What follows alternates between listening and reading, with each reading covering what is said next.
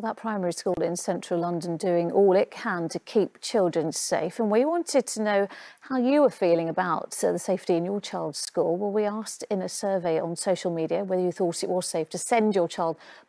Well, joining me now to talk more about uh, this in more detail is Next tonight, he's known as the Train Daddy after turning around the fortunes of the New York subway system. And today, Andy Byford was revealed as the new Transport for London Commissioner with quite the job ahead of him. Our political correspondent, Simon Harris, is outside Russell Square.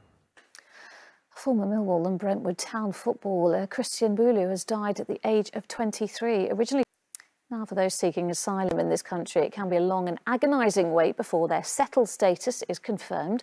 And while they wait, their temporary immigration status means they don't have any access to public funding. That includes things like housing benefits, universal credit and income support, a difficult situation that's only been made worse by the coronavirus pandemic. Ria Chatterjee has been speaking anonymously to one woman sharing her story.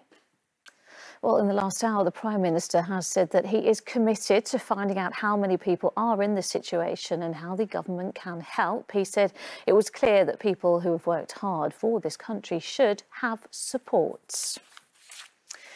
Life in lockdown has meant more of us spending our days at home, and many of us too, taking the opportunity to get rid of clutter. But a new campaign is encouraging us to think twice before just chucking out that old toaster or microwave. The Little Spring Clean campaign is urging us to recycle our electrical goods instead. Well, it's fronted by TV presenter Connie Huq.